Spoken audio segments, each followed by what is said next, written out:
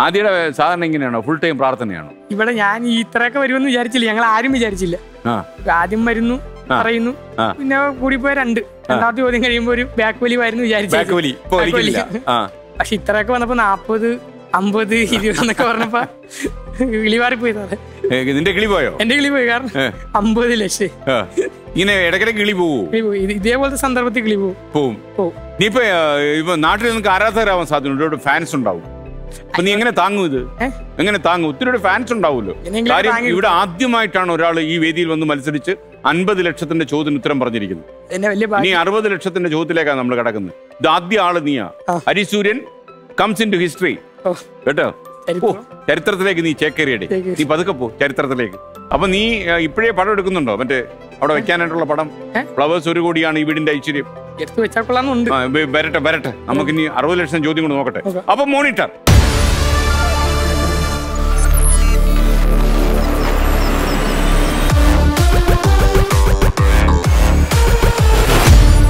ഇനി അറുപത് ലക്ഷത്തിന്റെ ചോദ്യമാണ്. സൂക്ഷിച്ച് കേൾക്കേണ്ട ചോദ്യമാണ്. ഐൻസ്റ്റീൻ റിംഗ് കണ്ടെത്തിയ ജ്യോതിശാസ്ത്രജ്ഞ ആരാണ്? Option A Maria Mitchell option B Carol Jordan option C Caroline Shoemaker option D Katherine Johnson option E Jacqueline Hewitt. Einstein ring കണ്ടെത്തിയ ജ്യോതിശാസ്ത്രജ്ഞ ആരാണ്? ഒന്നും അറിയാൻ ഈ ഐൻസ്റ്റീൻ റിംഗ് എന്താണെന്നറിയാമോ? വളയം ഐൻസ്റ്റീൻ വളയം ആ ആ അതന്നെ. പ്രകാശം വളയും എന്ന് കണ്ടുപിടിച്ചത് ഐൻസ്റ്റീൻ ആണ് അതാണ് ഐൻസ്റ്റീൻ റിംഗ്. ഒരു ഒബ്ജക്റ്റിന്റെ പിറകിലൂടെ വരുമ്പോൾ ഒരു പ്രകാശം വരുമ്പോൾ അത് ആ പ്രകാശം വരുമ്പോൾ അത് വളയം ഉണ്ടാകും ഏ? അതിനെയാണ് ഐൻസ്റ്റീൻ റിംഗ് ഐൻസ്റ്റീൻ വളയം എന്നറിയപ്പെടുന്നത്. ഒരു ഓപ്ഷൻ പോലും ഇവരെ കേൾക്കാത്ത ആ. Maria Mitchell Carol Jordan Caroline Shoemaker Katherine Johnson. Katherine Johnson മാത്രം ചേർത്തലക്കടുത്ത് എവിടെയുള്ള തോന്നുന്നു. അല്ലേ? അല്ലേ? ഞാൻ കേട്ടിട്ടില്ല. കേട്ടിട്ടില്ല. ജാക്കുലിൻ ഹെബിറ്റ്. സാർ ഒരു പിടിയില്ലാത്ത ചോദ്യമാണ്. കാരണം മറ്റേതിലൊക്കെ എന്തെങ്കിലും ഒരു ആശയമെങ്കിലും ഉണ്ടായിരുന്നു കയ്യിൽ ചോദ്യം തെറ്റിയാൽ കിട്ടിയതെല്ലാം പോവും. പിന്മാറിയാൽ അഞ്ചു ലക്ഷം. സാർ ഒന്നും അറിയാതെ വെറുതെ പോയിട്ട് കാര്യമില്ല കറക്കി കുത്തിട്ട് എന്തെങ്കിലും അറിഞ്ഞിട്ട് വേണം കറക്കി കുത്താൻ. ഇതൊന്നും അറിയാൻ പാടില്ല. അവിടെ ഒരാൾ പ്രാർത്ഥന തുടങ്ങിയോ? പ്രാർത്ഥന തുടങ്ങിയോ ഒരാൾ? ഇല്ല ഇല്ല പിരിഞ്ഞിരിക്കുകയാണ് വെറുതെ ഇരിക്കാതെ സമയം വേസ്റ്റാക്കാതെ പ്രാർത്ഥിച്ചോളാം പറ. പക്ഷെ എനിക്ക് ഇത് ഒരു പിടിയില്ല സാറേ. കാരണം ഇനി ഇത് ആദ്യമായിട്ടാണ് ഐൻസ്റ്റീൻ റിംഗ് ഇവിടെ വെച്ചാണ് കേൾക്കുന്നത് ഏത്? Einstein ring. Einstein ring? അല്ല നീ ഐൻസ്റ്റീൻ വളയം നീ പറഞ്ഞല്ലോ. അല്ല അത് ഇംഗ്ലീഷ് അല്ല ഐൻസ്റ്റീൻ റിംഗ് എന്ന റിംഗിന്റെ മലയാളം വളയം. ആ. അതിനുകൊണ്ട് പറഞ്ഞാണ് അല്ലാതെ എനിക്കറിയാൻ പാടില്ല. അതുകൊണ്ട് ഒരു ഓപ്ഷൻ അറിയില്ല സാറേ. ഒരു സാധനം ഞാൻ കേട്ടിട്ട് പോലും ഇല്ല എനിക്ക് ഈ ആൾക്കാരെ നീ കേട്ടിട്ടില്ല. അതാണ് പ്രശ്നം അതാണ് പ്രശ്നം. ഒരു പിടിയില്ലെന്ന്. ഒരു ഊഹമുണ്ടോ ഒരു ഊഹവും ഇല്ല കാരണം കറക്കി കുത്തുന്നോ? കറക്കി കുത്തുന്നില്ല. എ പ്ലസ് വാങ്ങിച്ചതിന്റെ ഏതെങ്കിലും കറക്കി കുത്തിയായിരുന്നോ? ഇല്ല ഇല്ല. ഇല്ല. കറക്കേണ്ടി വന്നില്ലേ അത്? കൊറോണ വന്ന് ഞങ്ങൾക്ക് കുറെ അവധി ഇങ്ങനെ കിട്ടി. ആ. രണ്ട് മാസമൊക്കെ സുഖമായിട്ട്. പഠിച്ചോ? ആ പഠിച്ചു. സാർ പിന്മാറാം സാർ. പിന്മാറാം. ധൈര്യശാലിയോ? പിന്മാറ. അല്ല നമ്മൾ ഇവൻ അമ്മയുടെ നേരത്തെ പറഞ്ഞുണ്ടായിരുന്നു പിന്മാറും എന്നുള്ളത് ഏ? അമ്മ ഇപ്പൊ പ്രതീക്ഷയോടെ വീട്ടിലിരിക്കല്ലേ ആ നമ്മുടെ പ്രതീക്ഷയൊക്കെ എന്തായാലും ഒരു പരിധിയിലും ഉള്ളൂ എന്തായാലും ഒരു കോടി ഒന്നും അടിക്കുകയില്ല. കാരണം സാറിനൊക്കെ ചലഞ്ച് ചെയ്ത് പത്ത് യുവതിയൊക്കെ എന്ന് പറഞ്ഞ് നടക്കണ കാര്യമൊന്നുമല്ല. ഞാൻ വീട്ടിൽ നിന്ന് പറഞ്ഞു പോയിട്ടുണ്ട് ഞാൻ പറഞ്ഞു ഈ കിട്ടുകയാണെങ്കിൽ ഒരു രണ്ട് മൂന്ന് ചോദ്യം ആ. ഒരു ലെവൽ വരെ പോകത്തുള്ളൂ. അത് കഴിയുമ്പോൾ നേരെ അഞ്ചിലേക്ക് ഞാൻ താഴ്ന്നു വരും. പറഞ്ഞു. പ്രതീക്ഷ കൊടുത്തിട്ട് ഞാൻ പോന്നേക്കണം. അങ്ങനെ. അങ്ങനെ. ഒരു അമ്മയ്ക്കൊരു പ്രതീക്ഷയുണ്ട്. നീ അങ്ങനെ പറഞ്ഞെങ്കിലും ഉണ്ടല്ലോ. നീ ആ എ പ്ലസ് വാങ്ങിച്ചുകൊണ്ട് ഒരു പ്രതീക്ഷയുണ്ട്. അല്ല ഞാൻ അമ്പത് ലക്ഷം വേണ്ടി ചരിത്രം എഴുതിയില്ലേ? നോക്കി നിർത്താം. ആണോ? ചരിത്രം പിൻവാങ്ങി അഞ്ചു ലക്ഷം കിട്ടു. പക്ഷെ പോയാ എല്ലാം പോയില്ലേ? പോയാൽ മൊത്തം പോകും തറക്കല്ല് പോലും ഇടാൻ പറ്റിയല്ലേ വീടിന്റെ അതാണ് വിഷയം. തറക്കല്ലെങ്കിലും ഉണ്ടോ? പണിതില്ലെങ്കിൽ ബോധിപ്പിക്കേണ്ട ആൾക്കാരാ. അപ്പൊ നീ തറക്കല്ലിട്ട് വെച്ച് അടുത്ത ഏതെങ്കിലും പ്രോഗ്രാമിൽ പോയിട്ട് മേലോട്ട് കെട്ടാന്നുള്ളതാണ് മേലോട്ട് കെട്ടാ. പിന്മാറ സാർ. പിന്മാറാം. അപ്പൊ വീടോ? അപ്പൊ വീടിന്റെ കാര്യം തറക്കല്ലിട്ട് വെക്കാം. തറക്കല്ലിട്ട് വെക്കാം. ഈ അഞ്ചു ലക്ഷം വെച്ച്. അഞ്ചു ലക്ഷം. അത് മതി. പക്ഷെ നിന്നെ ഇഷ്ടപ്പെട്ട ഒരുപാട് പ്രേക്ഷകരുണ്ടാവും കേട്ടോ. അത് ഞാൻ പറയാം. അപ്പൊ അവർ വല്ലതും വന്ന് വീട് കെട്ടും. പക്ഷെ നിനക്ക് വേണ്ടല്ലോ. വേണ്ട വേണ്ട. അയ്യോ ഒന്നും വേണ്ടേ? ഒന്നും വേണ്ട. അവർ ഊതിരൊന്നും ഉണ്ടാക്കത്തില്ലേ നമുക്ക് അവർ അവർ അവർ ഇങ്ങനെയൊക്കെയല്ലേ നാട്ടിൽ നടക്കുന്നത്? നമ്മൾ ഈ പരിപാടിക്ക് വരുന്ന സാറിന് എങ്ങനെയൊന്നും നമ്മുടെ കയ്യിൽ എടുത്തു വന്ന് പത്ത് പൈസ കിട്ടാൻ വേണ്ടി നമ്മൾ പറയണം. അങ്ങനെയാണ് അങ്ങനെയാണ്. നമുക്ക് നമുക്ക് വിചാരിച്ചു വെക്കാൻ പറ്റും. ഇപ്പൊ ഞാൻ വിചാരിച്ചു പോലും ഇല്ല. എന്റെ വീടിന്റെ ഈ മേൽക്കൂര തറക്കല്ലിടാനുള്ള പൈസയായി. പൈസ എന്റെ വീടിന്റെ മേൽക്കൂര കഴിഞ്ഞ ജൂണിൽ പോയി. അതിന്റെ അത് വെള്ളം മുട്ടം വീണ് ഞാനും അണ്ണനും അച്ഛനും കൂടി തേകിയിരുന്നു വീട്.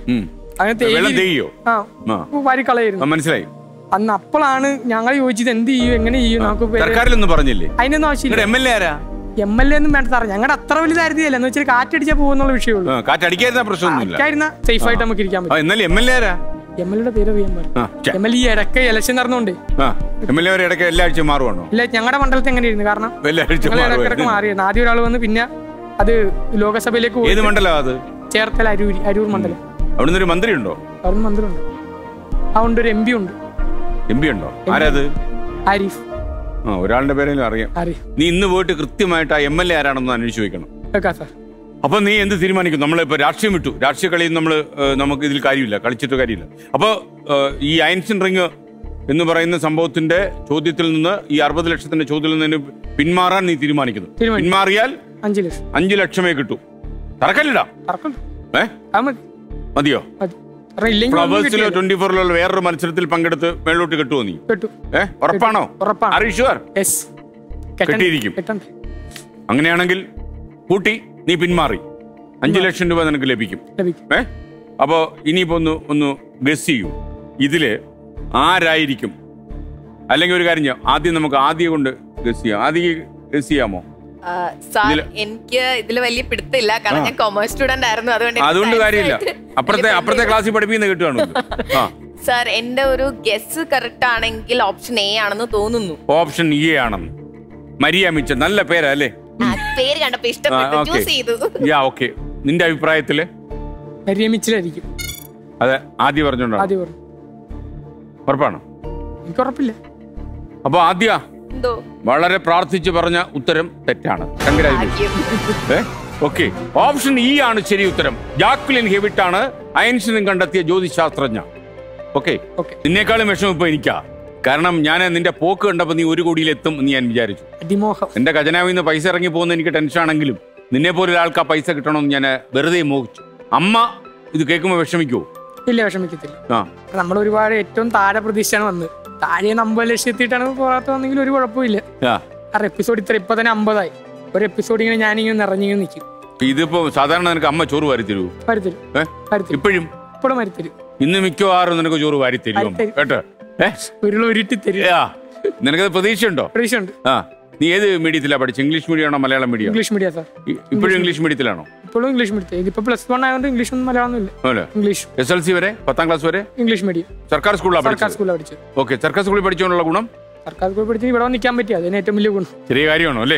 അല്ല എല്ലാവരും വലിയ ഇംഗ്ലീഷ് മീഡിയം വലിയ സ്വകാര്യ മാനേജ്മെന്റ് പള്ളിക്കൂടങ്ങളിലൊക്കെ പഠിക്കുന്ന കാലത്ത് നീ സർക്കാർ സ്കൂളിലേക്ക് പോയത് ഫീസിന്റെ ഇതുകൊണ്ടാണോ? അല്ല ഞാൻ ആദ്യം ഒന്നുപോലെ ഏഴ് വരെ പഠിച്ചത് പ്രൈവറ്റ് സ്കൂളിലായിരുന്നു ആ.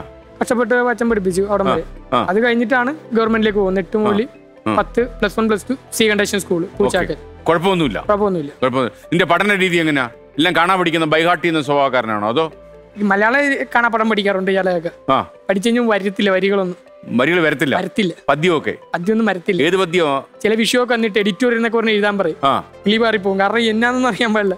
ചിലവന്മാരുണ്ട് ഇരുന്ന് കുത്തിയിരുന്ന് എഴുതും. ആ, യോ- യോമാര് എങ്ങനെ പഠിക്കും അത്? എങ്ങനെ പഠിക്കും? എനിക്കറിയാമല്ലോ ഞാൻ കോപ്പി അടിച്ചിട്ടുണ്ടോ? കോപ്പി അടിച്ചിട്ടുണ്ടോ? കോപ്പി അടിച്ചിട്ടുണ്ട്. പഠിക്കാത്തായിട്ട് ആരുമില്ല. എല്ലാവരും സ്കൂളിലൊക്കെ ഒരു വിധമുള്ളവര് ഏതാ തൊടയിൽ എഴുതുമോ അതോ കയ്യിൽ എഴുതി അങ്ങനത്തെ കോപ്പിടിയൊന്നുമില്ല ഇപ്പൊ ഇങ്ങനെ ഇരിക്കുമ്പോ രണ്ട് അങ്ങനത്തെ അത് അത് അത്രേ ഉള്ളൂ അല്ലേ? എപ്പോഴെങ്കിലും അധ്യാപനം പിടിച്ചിട്ടുണ്ടോ എക്സാമിന് പിടിച്ചിട്ടില്ല. പിടിച്ചിട്ടില്ല. ഈ ഫുൾ എ പ്ലസ് കിട്ടുന്നോണ്ട് നമ്മളിങ്ങനെ കാണിച്ചാലൊന്നും പറയത്തില്ല. ഒന്നും അപ്പൊ ആ അവൻ എഴുതിക്കോട്ടെ എന്ന് പറയത്തുള്ളൂ പാവത്താൻ എഴുതി. രക്ഷപ്പെട്ടു പോകട്ടെ. നമ്മൾ ഇങ്ങനെയൊക്കെ കാണിക്കും അല്ലേ ഏതാ, ഇത് ഏതോ മുദ്രയാണോ? ആദ്യം ആദ്യം ഇത് രണ്ടാമത്തെ. ഇത് ഒന്ന് കാണിച്ചിട്ട് ഇങ്ങനെ കാണിച്ച ഒന്നാമത്തേൽ രണ്ടാമത്തെ. ഇവിടെ വന്ന് ആദ്യം വല്ലതും അങ്ങനെ കാണിച്ചോ. ഒന്നാമത്തെ അത് രണ്ടാമത്തെ കാണിച്ചില്ല. ആ അതിനെ ആദ്യം എപ്പോഴാ കണ്ണു തുറന്ന്? അല്ലേ. ഓക്കെ. അപ്പൊ ഇത് കുട്ടികളൊക്കെ ഇത് പഠന രീതിയിലാണോ പോകുന്നത് ഇങ്ങനെ ഒന്ന് കാണിച്ച് രണ്ട്. അല്ലല്ലേ എന്നെ പോലുള്ളവരൊക്കെ ഈ ഒരു രീതി. അല്ലാത്ത ഹൈ ലെവൽ ഇനിയിപ്പോ പ്ലസ് ടു കഴിഞ്ഞു. ഇനിയിപ്പോ എങ്ങോട്ടാ പോകുന്നത് കഴിഞ്ഞ് ഡിഗ്രി എടുക്കണം. ആ. ഡിഗ്രി എടുത്തിട്ട് ഞാൻ പറഞ്ഞു ഐ എ എസ്. പക്ഷെ അതെല്ലാവരും ഇപ്പൊ ഡിമാൻഡ് കൂടി ബോറായി അല്ലേ? ബോറായി. എല്ലാവരും ആര് വന്നാലും ചോദിച്ചാൽ സിവിൽ സർവീസ് സിവിൽ സർവീസ് എല്ലാരും എല്ലാവരും അങ്ങനെ അതുകൊണ്ടാണ് നീ പി എസ് സി എഴുതാൻ ഉദ്ദേശിക്കുന്നത്? ഞാൻ കിട്ടിയില്ലെങ്കിൽ പി എസ് സിക്ക് പോവാ. അപ്പോ ഐ എസ് എന്തായാലും ശ്രമിക്കും. ശ്രമിക്കും ഉറപ്പായിട്ട് ശ്രമിക്കും. അതാണ് ആദ്യം. വീട്ടിൽ ആരെങ്കിലും ഇതുപോലെ ഐ എസ് പഠിച്ചവരുണ്ടോ? ഇല്ല ഇല്ല എന്റെ അക്ക. ഏ? അക്ക സിവിൽ സർവീസ് പ്രിപ്പയർ ചെയ്യാണ് ആദ്യം അതുകൊണ്ടാണ് നിനക്ക് ബോറായത്. പറഞ്ഞു ഇവിടെ നമ്മൾ രണ്ടുപേര് നിൽക്കുമ്പോൾ അവിടെ ഒരാളുണ്ട്. ഉണ്ട്. സിവിൽ സർവീസ് എഴുതാനായിട്ട്. വ്യാപ വ്യാപിച്ച് നിൽക്കണെങ്കിൽ എല്ലാവരും. സാധാരണ നിന്റെ അഭിപ്രായത്തിൽ ഏത് കുട്ടികൾക്കൊക്കെ ഈ സിവിൽ സർവീസ് കിട്ടുന്നത്? പിള്ളേർക്കാണോ? ഗവൺമെന്റ് സ്കൂളിൽ പഠിച്ച പിള്ളേർക്ക് എല്ലാവർക്കും കിട്ടിയിട്ടുണ്ട്. കിട്ടുന്നുണ്ട്. കിട്ടിയിട്ടുണ്ട്. മറ്റേ സ്കൂളിൽ രക്ഷയില്ല അല്ലേ? ആ സ്കൂളുകളോട് ഇത്ര വിരോധം? അല്ലെ നമ്മുടെ നാട്ടിൽ ഗവൺമെന്റ് സ്കൂൾ തന്നെ അല്ലേ ആ. മറ്റേ ഇട്ട് ഇട്ട് good morning teacher good morning miss പരിപാടി ഒന്നുമില്ല. മറ്റേ സ്കൂളിലാണ് എന്തോ പറയേണ്ടത്? സ്കൂളിലാണെങ്കിൽ അങ്ങനെയൊന്നും ഇല്ല. ടീച്ചർ പഠിപ്പിക്കുന്നു വെള്ളം കുടിക്കുന്നു തിന്നുന്നു. കലാപരിപാടി നടത്തുന്നു ടീച്ചർ പോകുന്നു. ആശനെ കണ്ട എന്താ സാറേ? അവിടെ പോണ് ആ ഒരു മൈൻഡാണ്. ആണ് അവിടെ അങ്ങനെ അവിടെ ആരടി മാറിയിരിക്കണം. നമ്മൾ പ്രൈവറ്റ് ആണെങ്കിൽ.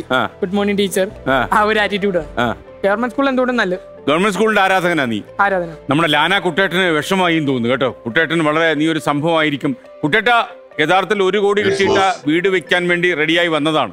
അപ്പൊ കുട്ടേട്ടൻ പറഞ്ഞൊരു സംഭവമാണെന്ന് അവന് അറുപത് ലക്ഷത്തിന്റെ ചോദ്യത്തിൽ വരെ പോയി അടിതെറ്റി വീണു അവിടെ. അപ്പൊ കുട്ടേട്ടൻ എന്താ പറയുന്നത്? അവൻ ഇനി തറക്കല്ലിടാനുള്ള പൈസയായി. ഇനി മേലോട്ട് കെട്ടാൻ അടുത്ത മത്സരത്തിന് പോകണം അഞ്ചു ലക്ഷം രൂപ ഇപ്പോൾ ലഭിച്ചില്ലേ? നീ ഒരു മിടുക്കനാണ്. മിടുമിടുക്കനാണ്. നിനക്ക് വലിയൊരു വീട് പണിയാനുള്ള ഭാഗ്യമുണ്ടാകും. അതിനുള്ള എല്ലാവിധ സംവിധാനങ്ങളും എല്ലാവിധ കഴിവും നിനക്കുണ്ട്. താങ്ക് യു നിനക്ക് എന്തു സഹായം വേണമെങ്കിലും എന്നോട് ചോദിക്കാം. തീർച്ചയായിട്ടും ചേർത്തലയിൽ വന്ന് ആ സഹായങ്ങൾ ഞാൻ ചെയ്തു തരുന്നതായിരിക്കും. വിളിക്കാം വിളിക്കാം. ഓക്കെ നമ്പർ ഒന്ന് വിളിക്കണം. ഫോൺ നമ്പറുണ്ട് അപ്പൊ ഒരു കാര്യം ചെയ്യാം. നമുക്ക് നീ മാറി സ്ഥിതിക്ക്. നമുക്കൊന്ന് ചോദിക്കാം. ആദ്യ ഇപ്പോ സിവിൽ സർവീസിനൊക്കെ പ്രിപ്പയർ ചെയ്യാണ്. അപ്പോ നല്ല കാര്യം അപ്പോ ഇവൻ പിന്മാറി എന്നുള്ളത് വലിയ സങ്കടമായല്ലേ? ഒരു ലേശം സങ്കടമുണ്ട് പക്ഷെ അതിലുപരി അഭിമാനമുണ്ട്. സാറ് പറഞ്ഞ തന്നെ ഇതൊരു ചരിത്ര നിമിഷമാണ്.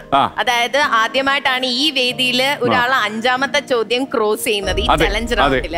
അതിൽ അവന്റെ ചേച്ചി എന്ന് പറയുന്നതിൽ നിന്ന് അങ്ങേ അറ്റം ഞാൻ അഭിമാനിക്കുന്നത് സാർ. ഞാനും കാരണം എന്താന്ന് വെച്ച് കഴിഞ്ഞാൽ ഞാൻ ഈ അടുത്ത കാലത്ത് ഇത്രയും ചിരിച്ചിട്ടു. അത് അവനെ എന്നെ ഇത്രയും ചിരിപ്പിച്ചു. ചലഞ്ച് ചെയ്തു എന്നെ. കാരണം ഞാനാണെ മസിലൊക്കെ പിടിച്ച് ഗൗരവത്തിൽ ഒരു ക്രിസ്മസ് മാസ്റ്ററായിട്ട് നിൽക്കുമായിരുന്നു അപ്പോഴാണ് അവൻ ചിരിപ്പിച്ച് എന്റെ ആമാശയം കൊലഞ്ഞുപോയി സാറിന്റെ ഹൃദയം ഒരു ലോല ഹൃദയാണെന്ന് ഞങ്ങൾക്ക് അറിയാം അറിയാല്ലേ? ഇത് ഇതെടുത്ത് തെരുവിൽ വെച്ചേക്കൊന്നുമില്ല ഓക്കെ അപ്പോ വളരെ സന്തോഷം നിങ്ങളൊക്കെ ഇതിൽ പങ്കെടുത്തു. മോളെ മോൾ നല്ല മിടിക്കായിട്ട് പഠിക്കണം. ഇതുപോലെ ഒരു ദിവസം വന്ന് എന്നെ ചലഞ്ച് ചെയ്യണം. അന്ന് മോൾ വളരുമ്പോഴത്തേക്ക് ഇത് മൂന്ന് കോടിയൊക്കെ ആകും. ഇപ്പോഴല്ലേ ഇത് ഒരു കോടി? കേട്ടോ? ഓക്കെ താങ്ക് യു അമ്മ താങ്ക് യു ഓക്കെ സന്തോഷം. അപ്പൊ ഹരിസൂര്യൻ നമുക്കിനി വേറെ പിരിയാൻ സമയമായി. നീ എന്നെ ഒരുപാട് ചിരിപ്പിച്ചു. എനിക്ക് ഞാൻ നിന്നെ ശരിക്കും ആസ്വദിച്ചു ശരിക്കും പറഞ്ഞാൽ. റിയലി എൻജോയ് അപ്പോൾ നിന്റെ വാക്കുകളും നിന്റെ സംസാരവും ഒക്കെ വളരെ രസമുണ്ട്. മാത്രമല്ല എന്നെ ഏറ്റവും ആകർഷിച്ച കാര്യം വെറും ചിരിക്കേണ്ട കാര്യമല്ല. അതായത് സ്വന്തം അധ്വാനം കൊണ്ട് നീ നിന്റെ വീട് പണിയും. എനിക്കങ്ങനെ ആളുകളുടെ ഔദാര്യമില്ല പഞ്ചായത്തിന്റെ ഔദാര്യം പോലും ഇല്ലെന്ന് പറഞ്ഞ ഒരു ആദ്യത്തെ ധനമില്ലാത്ത ഒരാളാണ് കേട്ടോ? അപ്പൊ നിന്റെ ആ ആ അഭിമാന ഫീലിംഗ് ഉണ്ടല്ലോ ആ ഫിലോസഫി അതിനെ ഞാൻ മാനിക്കുന്നു. Okay bye a big salute you